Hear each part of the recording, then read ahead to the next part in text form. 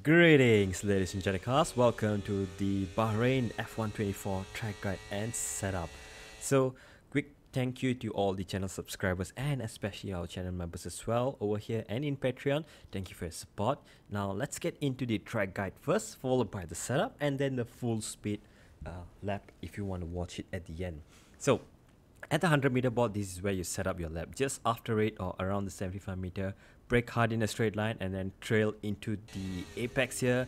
Run wide on the exit, use as much curb as possible to maximize your exit speed.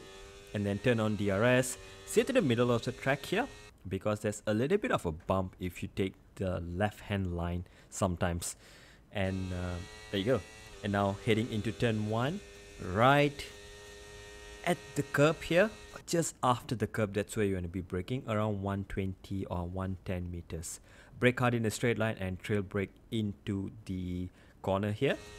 Avoid the right hand sausage. Keep it to the middle of the track and then point the car towards the curb. Take it as much as you can. Uh, be careful in fourth gear, sometimes it spins you out. On the exit, use as much curb as possible. Open up DRS and now bring your car all the way to the left hand side and be ready to brake right after the 100 meter and just before the start of the curb in front of you. Take it in third or fourth gear and let the car run wide on the exit once again to maximize your exit speed. And be careful with the curb usage here. It can cause you oversteer and wheel spin. And now heading into this uh, left right part and it goes downhill. So line your car with the white line here to be somewhere in the middle and then avoid the curbs on the right hand side which is to come uh, that can spin your car very easy. It's pretty much an auto spin sometimes. You may need to take a downshift sometimes here and then for the next braking zone there's three blue colored zones here. I brake right after the, the light blue the third one or the black barrier on the right hand side. Straight line braking and then trail into the corner. And on the exit the sooner you can straighten out your car the better it is and you can use a lot of the curb here for the next part turn 9 and 10 bring your car all the way to the right hand side here and aim for the curb on the right side, uh, um, the next right hand curb here. Brake in a straight line and then take it in third or second. And there you go, use the curb on the exit. It has grip for some reason. And now heading into the fast left hander here. Brake at the blue patch on the right, that's about 75 meters. And uh, take it in fourth gear or fifth gear, whichever you prefer. Uh, we take a little too much curb here and we get a little unsettled, but Nevertheless, we carry some good speed. And avoid taking that right hand curb here uh, unless you have a very high ride height or you know you're running 60 fps uh, so and let your car run wide on to the left hand side here. And you want to be braking right around here and you can see on the right hand there's an orange barrier. So around here is your braking spot. You don't have to brake heavy. Just need to carry about 20 30 percent brake sometimes 40 or 50 percent. And then take the entry curb a little bit and take a lot of the exit curb, maximize your speed, bring the car back as much as possible to the left hand side. And again right at the white line detection, DRS detection line or the 100 meter line or the curb, that's where you're going to be thinking about braking. Tuck the car in as tight as you can on the entry and on the exit let it run wide and there you go. That is a lap around Bahrain. I hope you enjoyed this. Now let's get into the setup for Bahrain. Um, surprise, surprise, it's gonna be very high downforce as you'll see in a moment here. And uh, give it a go. And if you need any help, uh, leave it in the comments. So let's take a look at the setup for Bahrain. Um, well, 50 43 wings. That's quite high for Bahrain. Uh, but you're going to be needing all the downforce here especially for the slow speeds here. Try it out. You can definitely gain a lot of time. If you need more top speed just drop the rear wing by two or three clicks and that will be good. If you need to adjust the stability with that reduce the front wing as well 100 10 100 that's pretty much the norm the meta to go for the suspension geometry. You can reduce the on throttle a little bit to around 80 or 90 to give you a little bit more rotation in higher speed. Uh, high on throttle gives you better traction in slow speed um, out of hairpins especially. Off throttle you can keep it at 10% that's pretty much the way to go. You can increase it a little bit maybe to 20 or 30 if you really need it.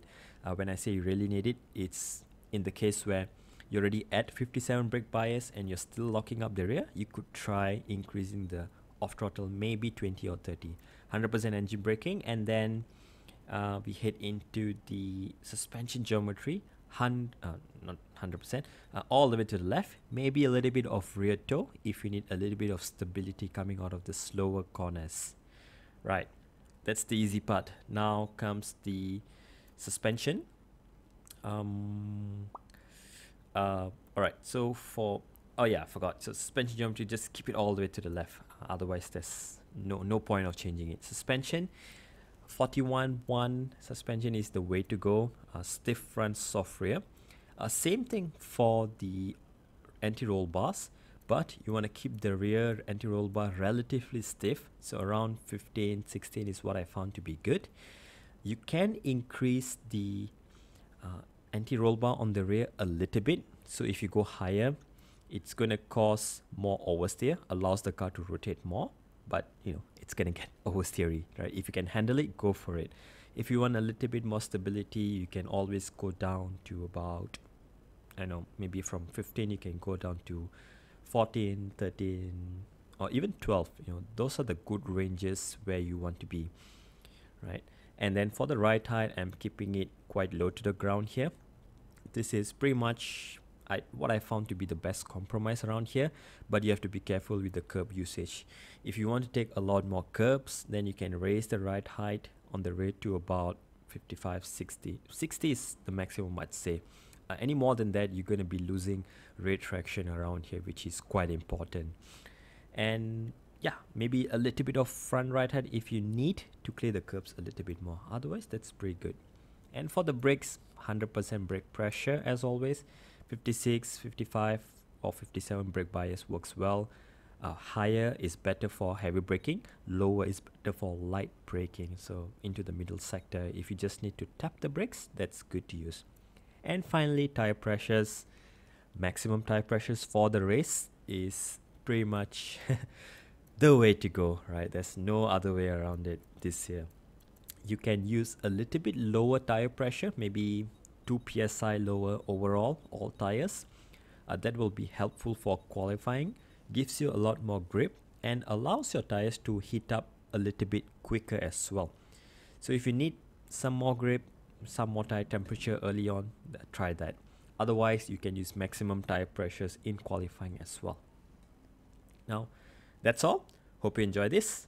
Let's get into the full, full, uh, full lap, and hope you enjoy this. I will see you in the next track guidance setup in Jeddah. Take care, everyone. Stay safe and goodbye.